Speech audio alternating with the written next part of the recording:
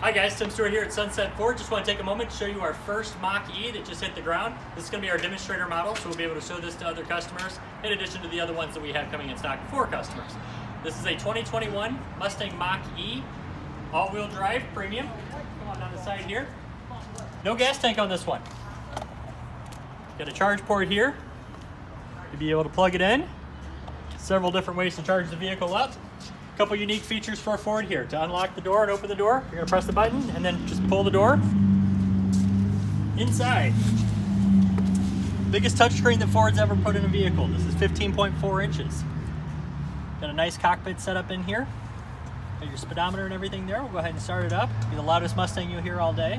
It's completely silent when you when you have it running. Shows your distance to E, 94% charge.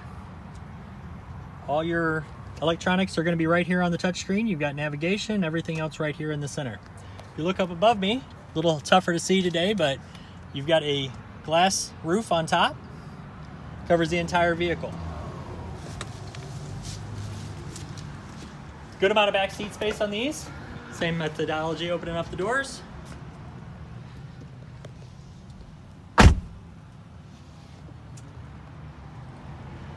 And if you come around to the back,